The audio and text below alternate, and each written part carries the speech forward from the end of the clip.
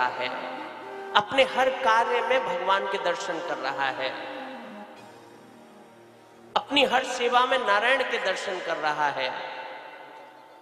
केवल वही ईश्वर के धाम में जाने का अधिकारी है, उनसे मिलने का अधिकारी है, उनके साथ नृत्य करने का अधिकारी है। उनसे, उनका प्रेम प्राप्त करने का अधिकारी है।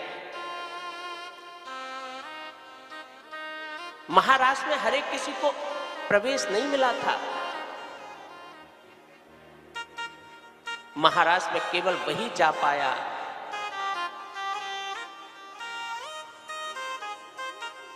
जिसकी अनुमति राधा जी ने दी थी। क्योंकि बिना उनकी इच्छा के आप ईश्वर के तो पास भटक नहीं सकते। भटकने की कह रहा हूँ, पहुँचने की तो बात अलग है। मन से भी नहीं जा सकते। और यहाँ तो सशरीर गोपियाँ कृष्ण के साथ नृत्य कर रही हैं।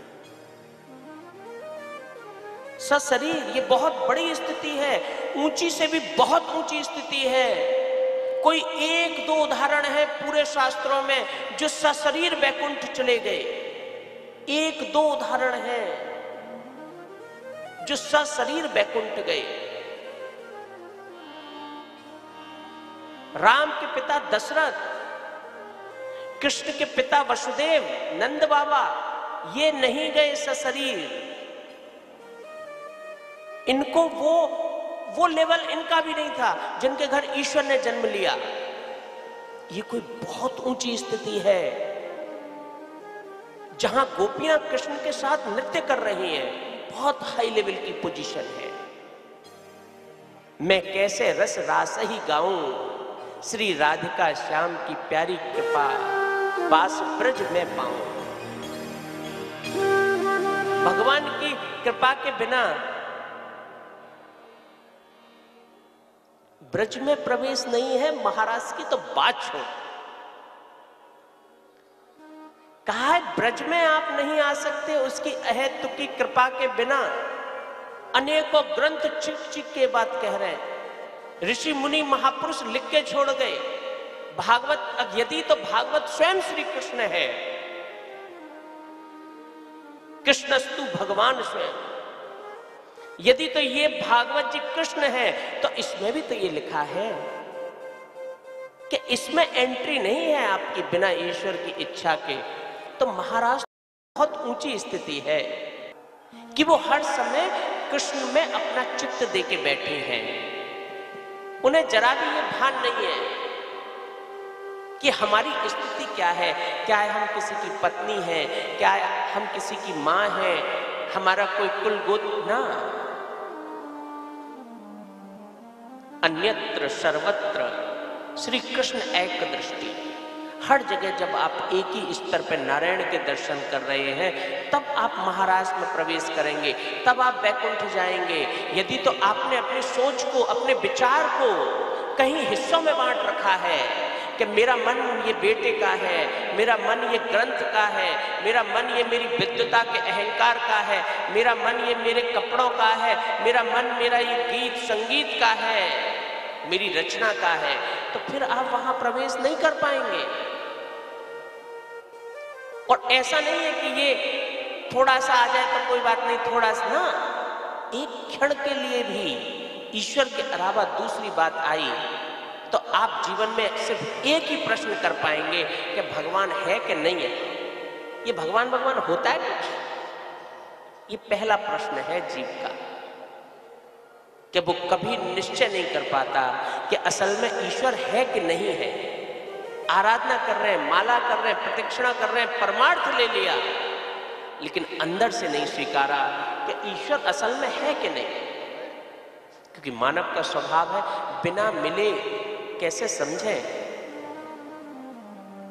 और मिलने की उसकी कंडीशन ये है कि एक, चाहे पाँच मिनट, सिर्फ़ पाँच मिनट, सिर्फ़ कुछ पल बहुत बड़ी आयु की ज़रूरत नहीं है, बहुत दिनों की आवश्यकता नहीं है, बहुत बड़े समय की ज़रूरत नहीं है।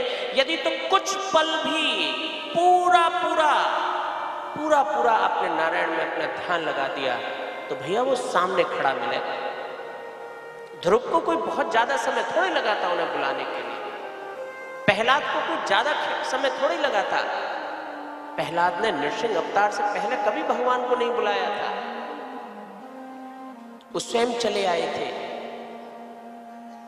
तो साधना में प्रतीक्षा भी तो होनी चाहिए। जब साधना कर रहे हैं तो प्रतीक्षा हो।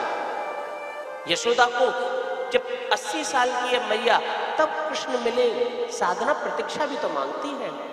ऐसा तो नहीं कि आपने आज सुबह माला की और शाम को भगवान जी आने चाहिए। साधना प्रतीक्षा मांगती है। कई बार तो कई जन्मों की प्रतीक्षा लग जाती है। कई बार एक जीवन बहुत छोटा होता है, लेकिन फिर आपको मिलता भी उतना विराट है। जब आप इतना करते हैं तो वो आपको इतना देते हैं।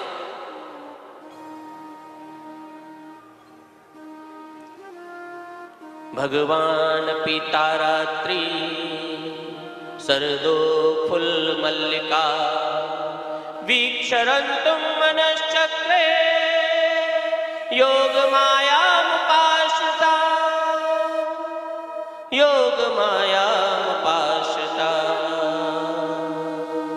योग माया मुपाश्रिता भगवान ने अपनी योग माया के द्वारा अपने उन सभी भक्त किंकरों को, जो अनंत जन्मों से भगवान के अनेकों अवतारों के समय वचनबद्ध हो गए थे भगवान की कृपा की, अहत की कृपा कोर उन्हें मिल गई थी? उनकी कृपा का एक टूक उन सबको मिल गया था। आज वो सब जागृत हो गए। वो जो कहीं दबे कुचले थे, कहीं अपनी साधनाओं में लिप्त थे, कहीं कोटरों में बैठे, कहीं अज्ञानता के एक जीवन में जी रहे थे, आज वो बड़ी ज़ोर से अपनी जगह से जागृत हो गए। भगवान ने उन सब के लिए वैकुंठ बनाया धरती पर कि तुम्हें मैं केवल वैकुंठ, मैं तुम्हारे प्राण नहीं जाएँगे, तुम्हारा अंश नहीं जाएगा। तुम सब सशरीर वैकुंठ आओगे। और जब तक चाहो यहाँ रहो, और फिर जब अपना यहाँ धरती का अपनी ज़िम्मेदारी पूरी कर लो तो फिर आ जाना। भगवान ने वो वैकुंठ की सुंदर रात्रियों को वहाँ बुला लिया। वहाँ सुंदर पुष्प आ गए, जो ऋतु से विपरीत है। नदी अपने यौवन पे आ गई। वृक्ष जिनमें कभी पुष्प नहीं होते, कांटे के वृक्षों में पुष्प आ गए। एक क्षण में वहाँ सुगंध फैल गई, मयूर नृत्य करने लगे और सुंदर व्यार वहाँ चलने चली। वसंत की सुंदर हवा, शरद ऋतु की भीनी भीनी हवा जिसका जैसा मन था, किसी को लगा मुझे गर्मी लगे, उसे गर्मी लग रही है। किसी को लगा मुझे आनंद हो, मुझे शीतलता हो, उसे शीतलता हो रही है। किसी को लगा मुझे सरोवर के किनारे खड़े होना है तो सरोवर के किनारा उसे मिल गया। किसी को लगा मैं वृक्ष की टहनी पे बैठूँगी तो वृक्ष की टहनी उसे मिल गई। जिसने जो मन में सोचा, मन में उसने सोचा कि मैं भगवान के साथ वृक्ष की डाल पर बैठना चाहती हूँ? तो उसके लिए वैसा वृक्ष और वहाँ की डाल आ गई। सरदो फुल मल्लिका। भगवान ने मन से सोचा, वेणुनाद किया। भगवान ने बांसुरी फूक दी। बांसुरी में जैसे ही प्राण गए जो ध्वनि निकली। वो सिर्फ़ उनको सुनाई दी, जो अधिकारी थे।